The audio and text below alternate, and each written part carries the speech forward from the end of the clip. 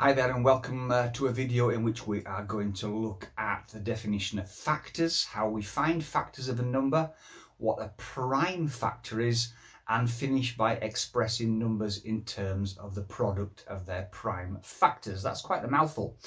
And in fact, I'm making the assumption here that before you watch this video, you already know what a prime number is, and also you know a little bit about the basics of powers. If you don't, I've put a couple of links in the descriptions to this video below. You might want to pause this and have a look at those first and then come back to this one.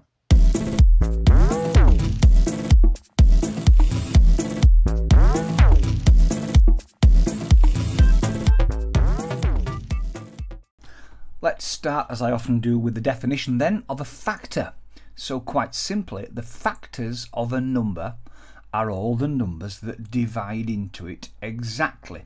So let's have a look at an example. Let's say we are looking at the factors of the number 12. We are just going to use our knowledge of our times tables and figure out what numbers you can divide 12 by exactly. We start by saying, okay, you can divide 12 by 1. 12 divided by 1 goes exactly, and also 12 divided by 12 goes exactly. We also know that you can divide 12 by 3. 12 divided by 3 is 4, in which case it must mean that 12 will also divide by 4. 12 will also divide by 2. 12 divided by 2 is 6, therefore 12 must also divide by 6. There are no other numbers that will divide into 12, so the factors of 12 are 1, 2, 3, 4, 6 and 12. You may notice that in most cases, and we'll have a look at a situation where it's a little bit different in a moment, in most cases factors are found in pairs. 1 times 12, 3 times 4, 2 times 6 all make up 12. So once you've found one, you can usually find the other. There is occasionally a situation where that doesn't happen. Let's have a look at the number 16 and find its factors.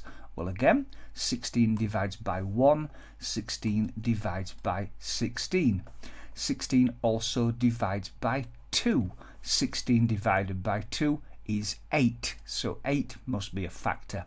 Now 16 divides by 4. Now 4 times 4 is 16, so we don't put the 4 twice, it stays on its own. Let's have a look at another number and find its factors, but I want to look at a new definition in this one. We're going to look at the number 30. Well, its factors, certainly we know 1 and 30. We also know that 30 can be divided by 2. 30 divided by 2 is 15, therefore 15 is a factor. 30 can be divided by 3, and 30 divided by 3 is 10. 30 can be divided by 5.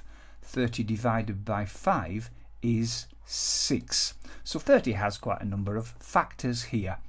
Now, if you look at these numbers, and this is where I mentioned at the very beginning it would be useful to have already looked at the video on prime numbers, if we look at the factors here, we can see that we have a number 2, which is a prime number, number 3 is a prime number, and number 5 is a prime number. The others can all be divided by something else. So the ones that I've circled in red here are known as prime factors. They are prime numbers and they are also factors of the number that we started with. Now I want to have a look at something called the factor tree and it's best done by looking at a very very typical and also very common question that we see on the GCSE exam papers and it will say something like express the number 30 as a product of its prime factors. It's also known as prime factorization. So what are we talking about? Well, we start, as we did on previous pages, with the number 30. Now I'm going to start on this side of the page because I want to show you how this works. The first thing that we do is we look for a pair of factors.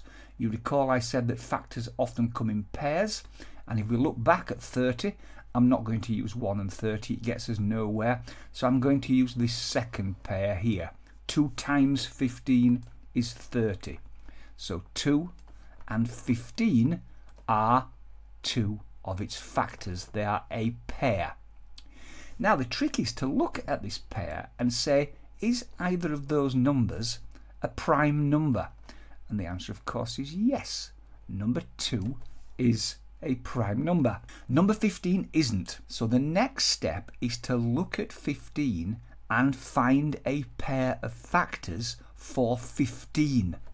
So if we look at 15, a pair of factors are 3 and 5. 3 times 5 is 15. Now we have some new numbers to look at and we ask ourselves, is that a prime number? Yes it is. Is this one a prime number? Yes, it is.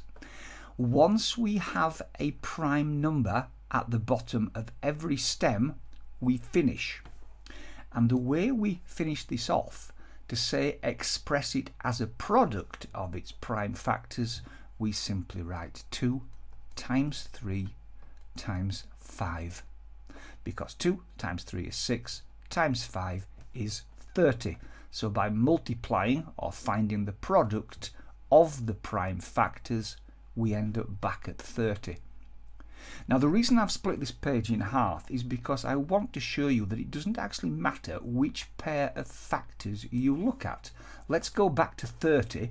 This time I'm going to use 3 and 10, a different pair of factors. So there we go, 3 and 10. Look at the numbers. Is either of those a prime number? Yes, it is. The number 3 is prime, but 10 isn't. So we need to find a pair of factors of 10. And of course, the pair that we have is 2 and 5. These are prime numbers. And if you look across the board, although they're in a different order, they are exactly the same numbers. So if I put them in order, I end up with exactly the same answer. So at whatever stage you are in, looking for factors of 30 or looking for factors of the next number, pick any pair that you can think of and you will get to the right answer. I'm just going to take this one more step. Now, when we come to the answer to this particular question, I am going to use one of the rules of powers. Therefore, powers is another topic that might well be worth you having a look at alongside this one. So I'm going to have a look at the number 45 and as with the previous number we are going to express it as a product of its prime factors. So I'm going to find a pair of factors and the one that comes to mind is 9 and 5. 9 times 5, 45. Are either of those numbers a prime number? Yes, they are. Number 5 is, but number 9 isn't. 9 has a pair of factors. 3 and 3. 3 times 3. Now you remember right at the beginning I, I said when we are listing factors we don't put the 3 twice but in a tree we need to finish things off so we do have 3 times 3 there and of course 3 is a prime factor, a prime number. Therefore, to write it out, what we have is 3 times 3 times 5. That's correct. That is expressing it as a product of its prime numbers. 3 times 3 is 9, 9 times 5 is 45. But in this case, because there are two threes, we go a step further. 3 times 3 can be written as 3 squared times 5. Therefore the complete answer is 3 squared times 5. Here's a final example and in fact you might want to pause the video at this point and have a go yourself. It's 420, so I'm going to pick a pair of factors. And I will go for maybe the more obvious one, which is 42 times 10. 42 times 10, 420. Are either of these numbers prime? And in this case, they're not. I therefore have to continue on both sides of the tree. Now 10 I know is 2 times 5 and 42 well 42 is 6 times 7 you can see how useful it is to know your times tables here are any of these prime yes 5 is a prime number 2 is a prime number and 7 is a prime number but 6 isn't therefore 6 I have to go again 6 is 3 times 2 and this time 3 and 2 are both prime numbers.